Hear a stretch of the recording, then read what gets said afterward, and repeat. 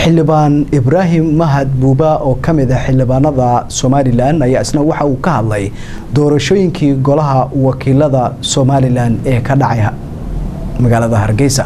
Haddaba warbixinta umuurtaasi waxaa inuu hayo wariyaheena inooga soo warama magaalada hargeysa qadar cabdirasaaq maxamed xildhibaan ibraahim mahdi buuba afhayeenka xisbiga mucaaridka ee wadani oo warbaahinta kula hadleeyay howlka shirarka ee xisbiga wadani ku leeyay magaalada hargeysa. Waxa uu ka jawaabay eedeymo uga soo yeedhay wasiirka wasaaradda warfaafinta dhaqanka iyo wacyigelinta somalilan. Mudane cismaan saxadiid cadaani kuwaasoo daarana in xaalada adag ay ka taageen aqalka golaha wakiilada somalilan. Oo masar cadaani sheegay in xisbiga wadani dabada ka riixaya islamarkaasna qarandimis ku eedeeyey xildhibaan cabdiraxmaan talyaanle oo ahaa murashixii u tartamayay jagada gudoomiyaha golaha wakiilada ee dhowaan loo doortay baashe maxamed faarax iyo ibraahim mahdi buuba afhayeenka xisbiga wadani oo ka jawaabay eedeymahan waxaa hadaladiisii ka mid ahaa. Wakiilada ka dhacday u aqoonsan yihiin xukuumad ahaan gudoomiyaha golaha wakiilada jamhuuriyadda somalilan waxaan leenahay xukuumaddu ma kula qabtaa midhkaa mise waa kugu adiga uun cadaaniyow haddaad keliga ay kugu tahayna aday kugu ceeb tahay haddii adigii xukuumaddu kuwada socotaanna dhammaantiinba waa idinku ceeb gef sharci oo dhacay inaad tirahdaan waan aqoonsanahay. Wax intaa ka badana kaaga warmayno kelmadda. Waxaad sheegtay in talyan leh uu yahay nin wanaagsan isla waxaad ku tilmaamtay qarandumisnimo. Waa laba eray oo aada u kala fog oo aan meel keliyana mar laga wada odhan karin. Laakiin aqoontaada ay ku siisay inaad mar keliya ummadda u soo wada bandhigto labada eray.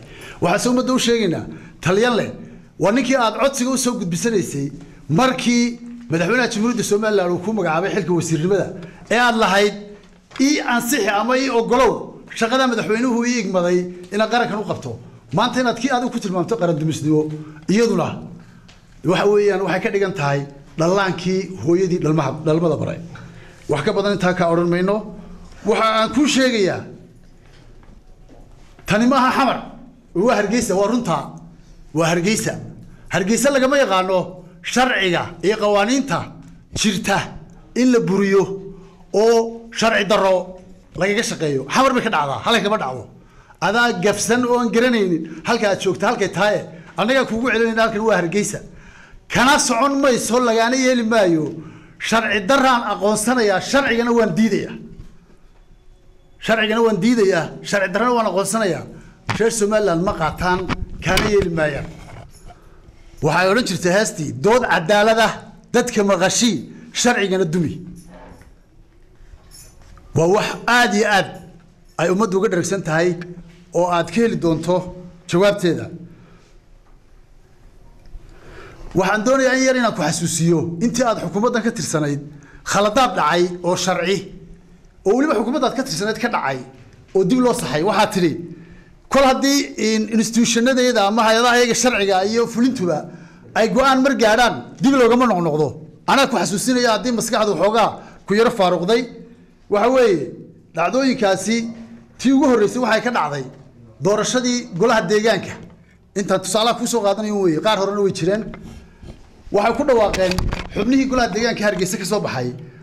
Xubin dhacday inay tirooyinkoodii natiijooyinka markay isu geeyeen ay ku sheegeen inuu soo baxay kadibna markii dacwad laysu furtay xildhibaankii soo baxayna uu lambarkiisii isu geystay.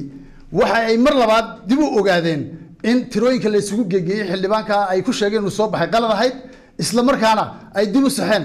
Caga yaraalan la yidhaahdaa xildhibaanka golaha deegaanka ee arrintaa ku soo baxay codkiisiina sida saxdaa markii dambe la geeyey loogu dhawaaqay inuu isagu yahay xubin golaha deegaanka hargeysa ka tirsan. Waa dhacdo dhacday oo dib loo saxay. Waxaan ku xusuusinayaa kale darajada bixinteedii markii ay socotay madaxweynaha jamhuuriyadda somalilan waxa uu gacantiisa ugu xidhay lix maxaa la yidhaahdaa janan. Xagga ciidamada waa lagaga wanaagsan yahay. Laba wiil kadib mid ka mid ah ayaa dib loogala noqday hal xidig oo la yidhi ma tihid waa lagugula qaldamay janankaas waxaana tahay gaashaan la sare hadalkamu iman muran cid gelisana may jirin sidii baana loo saxay waayo waa qalad dhacay qaladka dhacana halkaas baa lagu saxa lagu qabtaa. Waxaa kaloo ku xasuusinayaa intii aad adigu wasiirka ka ahayd xukuumaddanad ku jirtay dhacdo kale oo dhacday oo ahayd in madaxweynaha jamhuuriyadda somaliland isku shaandhayn mar uu sameeyey. Agaasimo guud oo wasaaradda la yidhaahdo maxaa la yidhaahdaa ganacsiga loo magacaabay uu kadibna ciddii magacaa lahayd. Xilkii ay tirsatay lana wareegtay shaqadii toddoba cisho markii uu shaqaynayeyna laga daba tegey oo la yidhi sore muu hayn adiga qofkii la magacaabay. Kadibna loo tiriyey mar labaad xilkaa ciddii uu madaxweynuhu uga jeeday ee loo magacaabay.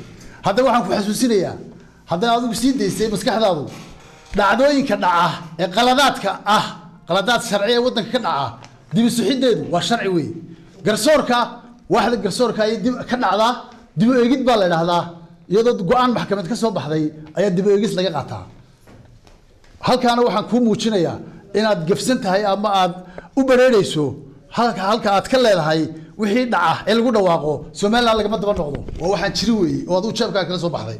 Midna waa kuu sheegayaayo waa deen weynay xamar iyo wadani wadani iyo xamar wax annagu ma nihin xisbi ahaan dad xamar lagu quuqin karo. Dad lagaga cabsiiyana ma nihin xamar xamar cidda xidhiidhka lalena waa la yaqaanaa.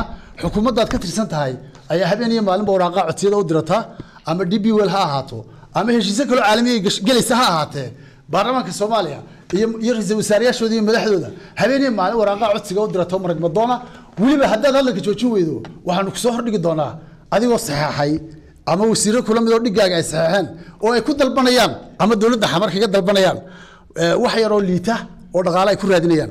Taasina waxa ay noqonaysaa nusqaan qarankana u soo hoyseen intii aad xilka haysay adiga iyo kuwa kula qayrka ah calanka soomaaliya inaad sida go-a shaalka u huban jirtay ood u ilmayn jirtay weliba midnimada soomaaliweyn wax la ydhaa ma naqaano anagu dhaqankaa laba wejina ma lihin waayaal ismaaciil wararka telefishinka caalamiga kalson hargeysa